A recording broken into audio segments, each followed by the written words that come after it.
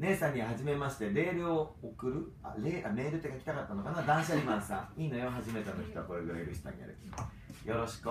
姉さん土曜日菊池野さんの番組でサングラスをテーマで放送してたんですが姉さんが忘れていったサングラス見つけてそのサングラスで5分ぐらい放送してましたよ。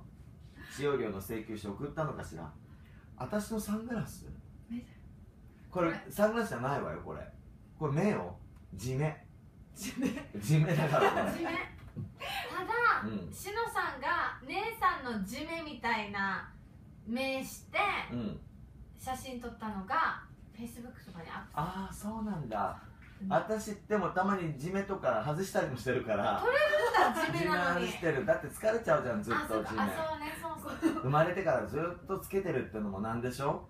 えー、いいな取り外しできたら。そう取ってたまにはね、うん。洗ったりとかして、うん。まあ、休ませたりとか、綺麗に手入れもしてるんだ。そうだからいつまでたってもピカピカ私もうほんとみずみずしい目なのよ。そうなんだ。キラキラしてるでしょ、うんうんしてるしてる。なんであんたこの動かしてんの？カメラを。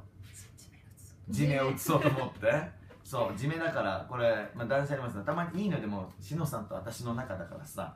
そう。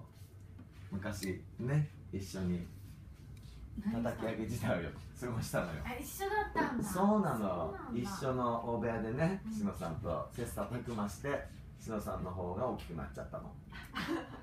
身長高いからねそうなの。私負けたのよ。これリアルね